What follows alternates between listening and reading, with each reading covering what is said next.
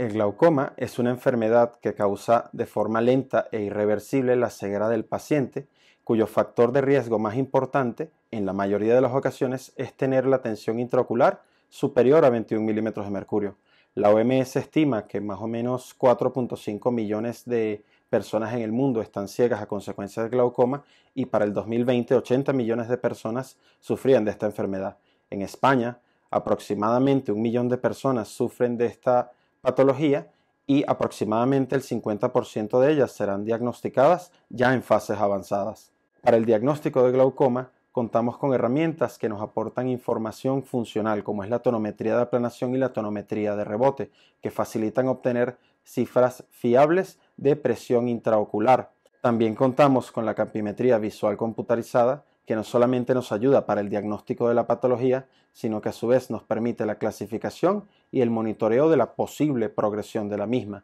en vista de que los daños o defectos del campo visual traducen lesiones en el nervio óptico, el cual es la principal estructura lesionada en esta enfermedad. También contamos con herramientas como la tomografía de coherencia óptica, la cual constituye una prueba de alta tecnología que nos permite evaluar, aparte del estadio del nervio óptico, la capa de fibras nerviosas y la capa de células ganglionares de la mácula.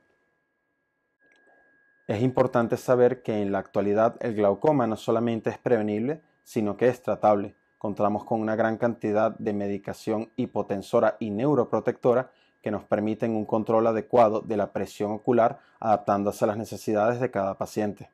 Para casos más avanzados, también contamos con tratamientos láser de fácil realización en la consulta médica sin preparación previa, con alto rango de efectividad y por supuesto de seguridad. Asimismo, para casos más avanzados podemos realizar técnicas mínimamente invasivas de cirugía de glaucoma, que a diferencia de la cirugía clásica, que aún es válida para casos más avanzados, nos permiten tener un nuevo escalón terapéutico con excelentes perfiles de seguridad y una recuperación visual y anatómica virtualmente inmediata. Estos procedimientos, al ser mucho menos agresivos y fácilmente combinables con la cirugía de la catarata, permiten no solamente una recuperación rápida, sino reducir el número de intervenciones quirúrgicas a las cuales se somete el globo ocular y permiten al oftalmólogo instaurar tratamientos personalizados dependiendo de cada situación.